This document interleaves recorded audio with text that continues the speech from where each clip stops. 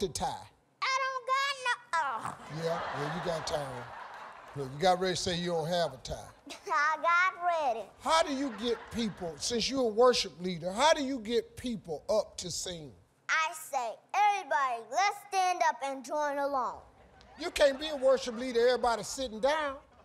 No, I can't. No, because that'll be a dry service.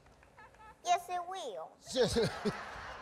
Are you taking your clothes off? No, I'm not. Yeah, but what, what you taking your vest off for? What, Because I like it on.